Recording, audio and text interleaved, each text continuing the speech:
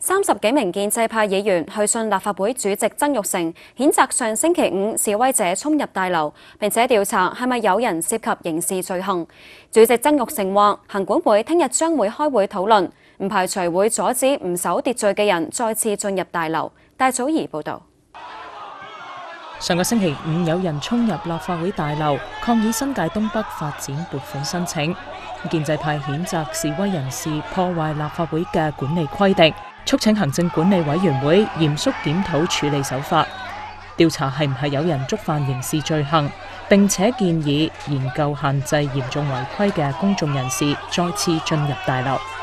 有啲人佢可能入嚟嘅時候。佢唔講清楚，但係可能好快已經知道佢係想入嚟示威嘅，咁佢就應該咧根據嗰個指示，佢係迅速做到嘢咁先得。咁所以我哋認為呢個保安嘅政策同埋指示呢，應該喺行政管理委員會呢係要檢討同埋要清楚咯。佢哋又要求調查係唔係有議員助理違反規定帶示威者入大樓。三十幾名建制派議員簽署信件，已經交俾主席同行管會考慮。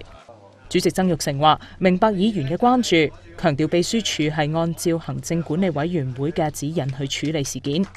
行管會星期二就會開會討論同埋檢討，唔排除會阻止上個星期唔守秩序嘅人再次進入大樓。我哋係有一個規定呢，如果有一啲即係嗯公眾人士入過嚟立法會，係有過一啲诶。違反我哋嘅指引嘅規定嚇嘅人士咧，誒，我哋係可以拒絕佢入嚟嘅。咁我哋會個別嚟到睇下。誒，我相信咧就，如果你話一刀切，所有上個星期五曾經入過嚟我哋嘅大堂嘅人都唔俾佢入咧，